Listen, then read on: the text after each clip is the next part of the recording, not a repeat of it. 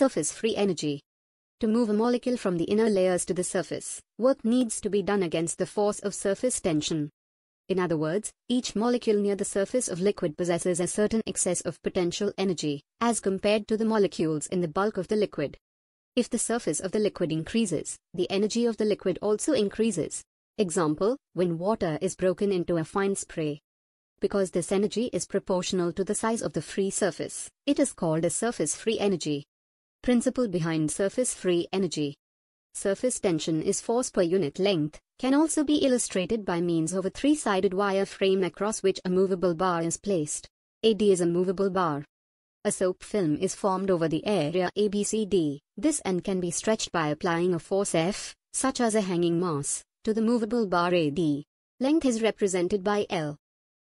When the mass is removed, the film will contract owing to its surface tension. The surface tension, gamma, of the solution forming the film is then a function of the force that must be applied to break the film over the length of the movable bar in contact with the film.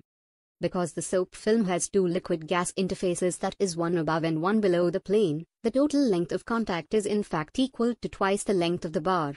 Thus, gamma is equal to force upon 2L, where F is the force required to break the film, and L is the length of the movable bar AD.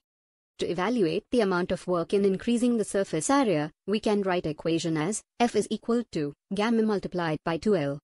When the bar is at a position AD, see the figure and a mass is added to extend the surface by a distance d's, the work dW is equal to force F into Ds, which is equal to gamma into 2L into Ds.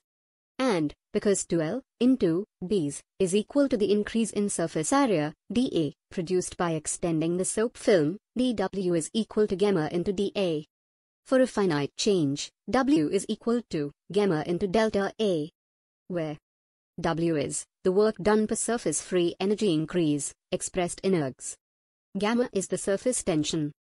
Delta A is the increase in area, Surface tension can be defined as the surface free energy change per unit area.